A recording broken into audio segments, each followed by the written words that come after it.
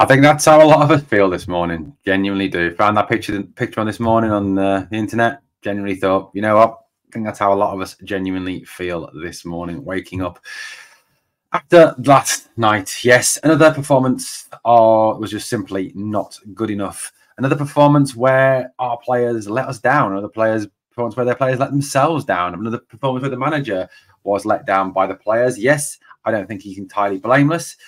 And you know, I'm a massive fan of Philippe Clement. Um, and but you know what? You criticize people when they do the wrong thing because that's how you help people to get better at what they do. Not that I suspect for a minute that Philippe Clement would ever listen to me. But last night's performance by Rangers was yet another example of when the pressure is on, when they really need to pull out all the stops to do something, they let us and themselves and the club down massively. When the pressure's on, this team do not cope. When the pressure's on, they wilt. When the pressure's on, they hide. When the pressure's on, they revert back to type. And I think the issue we've got here is too many of this team that we are carrying, plus too many of these players that we've signed, are just not good enough anymore. Too many of the players that we are carrying have got two managers already sacked.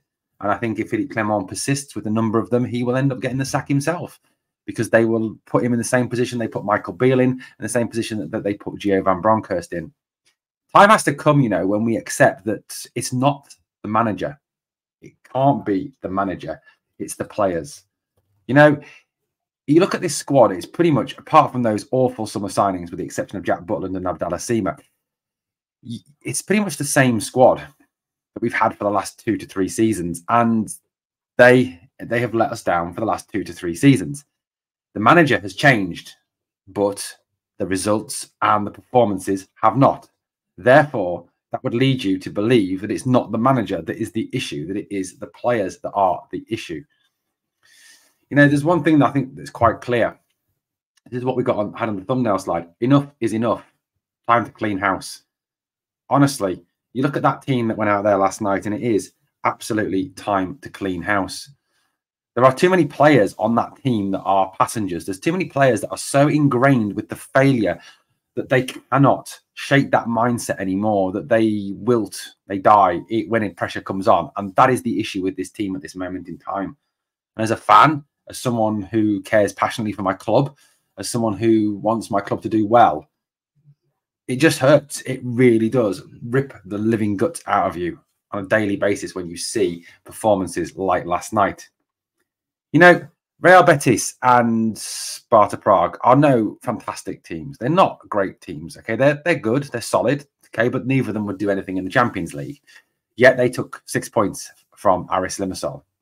Rangers have taken one point from Aris Limassol. Now, I'm not going to belittle Aris Limassol and call them a pub team or call them a bunch of part timers because they're not. They've got some decent players. But by the by the if you look and compare the amount of money spent on our squad with their squad, the amount of money we pay in wages compared to the amount of money they pay in wages, it should not even be a competition.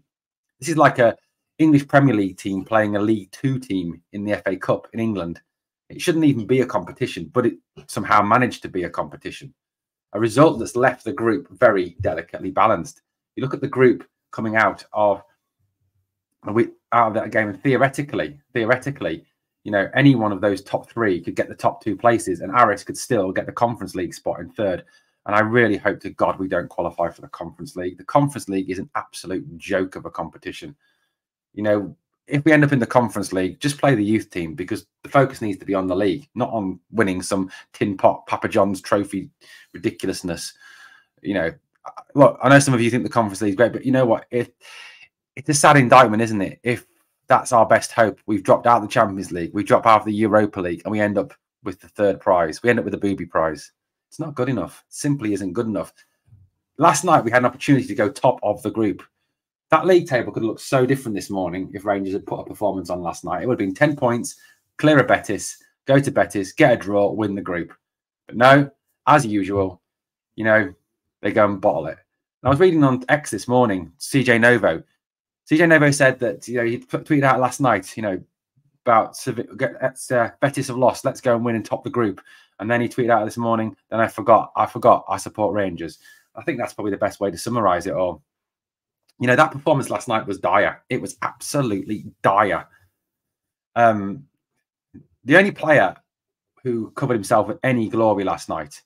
Well, there's only actually no. There's two players that I'm going to give pass marks to. Before I talk about those players that let us down, those players that are an absolute damn disgrace, I want to just start with positive. I'm also near the end of the video going to talk about how we could possibly get this better in time for Sunday against St Mirren. So hang on for that. Okay, so look, the obvious one we all know. The obvious one last night was Ross McCausland. Ross McCausland should have started last night. Ross McCausland is on a high, obviously, after some great performances and signing that new contract. And when Ross came on, he made a huge world of difference. He looked lively. He took the took their took their players on. He went at them. He created chances. He he got one goal. He could have easily had a second goal. You know, he was too honest for his own good. You know, not going down in the penalty box when he was fouled. He he was absolutely fantastic last night. I gave him eight out of ten because he was a breath of fresh air, and it kind of makes you think that what if we actually tried a few more of these young players? What if we actually tried Cole McKinnon Bailey Rice. You know, those Zak Lovelace would be another one, but he is injured at the moment. Why not try these players? Because Adam Devine, Robbie Fraser, why not try them? Because Ross McCausland was the best player on that pitch last night. Better than all those people we've spent millions and millions of pounds on. This lad, who's just turned 20, was the best player on that pitch. He showed more heart, more fight, more bottle, more passion than the rest of the rest of them put together with perhaps the exception of one player who I'm going to talk about in a minute. But if you take the other nine player, the other eight players, Jack Butland obviously as well doesn't deserve any criticism. But if you take the other eight players, put all their their fight, bottle, and passion up, it wouldn't even half fill Ross McCausland's cup. Why not give Bailey Rice a game? Is he any worse than Cifuentes? Is he any worse than any of the players that were out there today?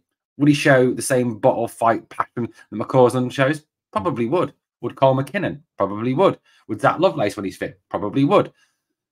Is Zak Lovelace a better player than than Cyril Dessers? Yes, he is. Is he better than Sam Lammers? Yes, he is. I don't get it. Don't get it. Genuinely. The other person I want to, you know, give some praise to, and you know, this is a guy I criticised in the past. I thought John Lundstram worked really hard last night. I thought he fought, he battled, and he was trying to do the job of three players in the middle there. Yes, it wasn't perfect. Yes, it wasn't amazing, but he still showed more fat, more fight, more bottle, more heart, more passion than any other player other than Ross McCausland and Jack Butland on that pitch. Jack must be sick to death. I mean, Jack must be looking and thinking, what the fuck have I done here?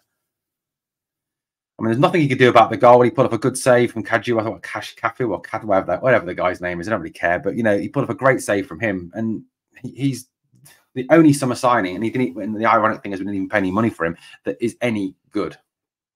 And that's a sad indictment. What I want to know is who at this club authorized Michael Beale to go and waste that much money? Who even sat there and looked at the stats of Cyril Dessers and Sam Lammers from the last few years and went, yeah, that's a really good idea. Go and buy those two. Neither of them can hit a cow's ass with a banjo. Neither of them can score goals. Both of them have got about as much talent as a one-legged asthmatic donkey that's blind. But well, yeah, go and pay seven and a half million for the pair of them. That's a brilliant idea, Michael Beale. Go on, you go and do that genuinely don't get it. Understand, don't get it. Um, you know, you look at the team that was picked last night, and it was the wrong. This is where Philippe Clement got it wrong last night, and he got it massively, massively wrong last night. And but Philippe Clement has been spot on so far with what he's done for this club, the way he's come in, the way he's you know changed this club, or he's trying to change this club. He's identified a lot of the priorities, and he's working on them, and he has to be given the time to do that. I am not for a minute saying that he should be under any pressure. I am for a minute saying that it is down to him because it is not. It is down to the players letting manager after manager down. Clement is trying his very best with what he has got, but he made a fundamental error last night with team selection. A massive, massive error with team selection. Look at that team that went out last night. Now, he, there's nothing he could do about the defense. Davies and Souttar had to start and looked horribly off the pace because Souttar hasn't played for months. Davies hasn't played regularly either. So that's understandable. But Cantwell does not work on the right hand side. Todd Cantwell is not a right winger. Todd Cantwell is effective as a 10. Now, Todd Cantwell has got an, uh, has got dogs abuse this morning for that performance last night. And okay, fair enough. You know, fair enough that he gets gets criticized. And yes, he hasn't been great this season, but is that down to him or is that partly down to the fact that he has not been used where he should be used? Cantwell is a 10. He's not a right winger. He's not a defensive midfield player. He's a 10. Last season, towards the end of last season, we saw him being exceptionally effective as a 10. Now, what I did not understand for a minute, yes, make a change. At any point, great. Send a signal, send a message. If you're not pulling your weight, you're not doing what you're being told, you're off. But was Todd Cantwell the worst player on that pitch in those forward areas when Ross McCausland was brought on for Todd Cantwell after 30, 35 minutes? Was he? No, he wasn't. He was nowhere near the worst player on that pitch. The worst player on that pitch, and this is, I've, I've you know what? I've been following football all my life. I've done player ratings loads throughout my life. I've never given a player a zero. Sam Lammers yesterday, I gave zero out of ten for. This this bloke is an absolute donkey. He is an absolute joke. He is a fraud. What was it? I saw uh, Adam Thornton of Heart and Hand call him scam Lammers. That's about right. He is absolute scam. This man is not fit to play pub football. Never mind play for Rangers. He is an absolute joke of a of a human being and a joke of a footballer. You know, Uh, that substitution was obvious. Of course, it was. Make a change, but take him off. Don't take the time. Put Cantwell in the ten. At least give him until half time to show can he do something in that ten role. And then if he isn't doing it, yeah, hook him. Then bring some. Bring Tom Lawrence on. But no, he didn't do that, and that's where that's where Clement got it wrong for me. Yes, Todd Cantwell wasn't following instructions, but he was being asked to play in a position that he cannot play. Would we play Jack Butland up front? Would we play Connor Goldson as a striker? No, we wouldn't. But this idiot here persists in being picked and keeping his place as a 10 over Cantwell, who is more naturally talented, who is a better player, all round player than this player here. Yet he persists with Sam Lammers. He should have hooked Sam Lammers after 20 minutes, never mind 35 minutes hooking Cantwell. And the boos, apparently, listening to some of the sources I've got, were not because it was for Todd Cantwell. They were because they didn't take Lammers off and he kept he took Cantwell off instead. Sam Lammers should never play for Rangers again. He is probably he is worse than Cyril Dessers, and that's saying something. He's probably one of the probably one of the worst players that has ever played for our great club. He is, and I don't know what about his stats. I thought Michael Beale thought that would he ever be a footballer. I I don't understand it. I don't get it. And if one, if some of you can explain to me what Sam Lammers contributes, I would love that, guys. In the comments, if you can explain to me what Sam Lammers contributes to this team, or what that what Scam Lammers can do. And I know the happy clappers out there won't like me calling him names. Got some very precious Rangers fans. If you call a player's names, well, you can't call our players' names. Whatever. Grow up. Um, Scam Lammers. That's what we should be called from now on. Scam Lammers. The other player last night that was an absolute joke was Jose Cifuentes. The guy didn't look like he could play a pass. The guy didn't look like he knew what he was doing. Didn't, didn't look like he knew what he was out there. Is there a player in there? I genuinely don't know anymore. But to be told, you know, that he's a game changer, a level up, a level upper, a player who's going to come in and change and revolutionise Rangers midfield. What make it worse? Of course, he's made it worse. He was absolutely awful. So you're telling me that that this young man here is no better than Jose Cifuentes, that this young man couldn't do more than Jose Cifuentes. Don't get it, guys. Really don't get it. Don't understand it in the slightest. You know, yes, at times we were unlucky and we didn't take our chances last night. Yes, but the problem was if you look at the game again, you watch that game back and didn't done it this morning, woke up as early this morning, watched the game back, and it's gone back to what it was passive, boring, slow passing no no aggression, nothing. This team carries so many passengers. You know, there's too many people on that team that shouldn't be there anymore. You know, Tav, I'm sorry. I know he steps up with goals, and, and this is going to cause, and this is going to cause a shitstorm. I know it is. I'm going to get pelters for this. James Tavernier is I know he scores penalties and free kicks and can, you know, but he's a defender. He's paid to defend. He's paid to be a defender. He was woeful last night, absolutely woeful. He is part of the problem, not part of the solution. He is part of the problem. Ben Davies is part of the problem. Borna Barisic is part of the problem. Yet again last night, absolutely shocking. If Ridvan doesn't start on Sunday over him, I don't know. I, I I'll pull my hair out. What little hair I've got he was awful last night, and he was run. Their winger ran rings round him, and he was an Aris Limassol winger for God's sake. Lundstram tried hard last night. Cifuentes, absolute joke. Absolute joke. Lammers, joke. Cantwell played in the wrong position. Sima last night wasn't great, did okay, wasn't great. De Neo struggled again, six million pound. He's still not doing it. He struggled. You look at the bench, Dessers awful. Lawrence tried last night. Matondo's not fit. Sterling doesn't get a look in. Roofe never fit. King doesn't get a look in. Devine doesn't get a look in. McCausland was fantastic. McKinnon doesn't get a look in. It's not just them. You go to Connor Goldson as well, who didn't play last night. Connor Goldson, again, part of the problem. This team needs a Ryan Jack, part of the problem. This team needs a massive clear out. It's time to clean house. It's time in the summer, and it has to be the summer because it can't be done in January because you can't rebuild a team in January. And you're going to have to just get through to the end of the season. But we're stuck in a Groundhog Day s thing, aren't we? Where bring a new manager in, he's got to work with the players he's got. He's got to try and get the best out of him, and it all falls apart again. We need to get out of this cycle. Something's got to be done. And if you look at the common factor in the failure of Rangers over the last two to three seasons, it's the same players failing time and time again. It's the same core of players who are letting down manager after manager after manager. James Tavernier, Connor Goldson, Borna Barisic, same players. I could go on. I'm not going to. Ryan Jack. There's, there's the same list of players who season after season after season let the managers down, let the fans down. And I know there's people out there that won't like me saying that. There's people out there say you shouldn't criticize our players. I'm sorry, when they're not doing what they're paid to do, when they're not scoring goals, when they're not defending properly, when they're not fighting like they should do wearing a Rangers shirt, they deserve all the criticism in the world. They're not fit to wear our shirt. A lot of those guys are done and they need to be got rid of.